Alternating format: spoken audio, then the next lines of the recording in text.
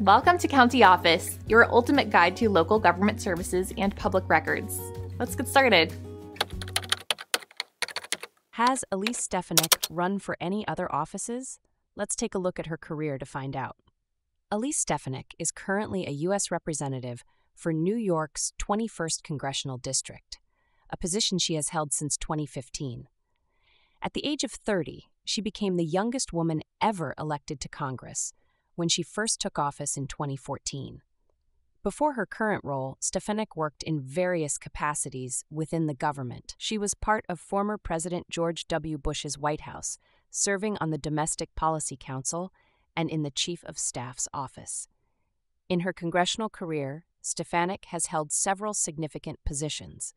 She was elected as the freshman representative to the Policy Committee of the 114th Congress and later became the vice chair of the House Armed Services Committee's Subcommittee on Readiness. Stefanik has also been involved in leadership roles within the Republican Party. She co chaired the Tuesday Group, a caucus of moderate House Republicans, and later led recruitment for the National Republican Congressional Committee in the 2018 House elections. In 2021, she was elected as the chair of the House Republican Conference, making her the fourth ranking House Republican.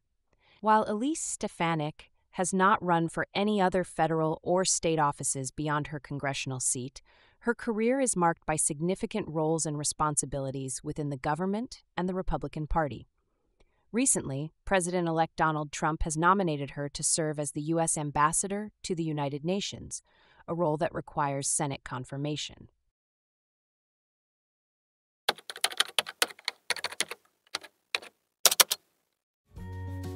Learn more, check out these links, which you can click in the description below.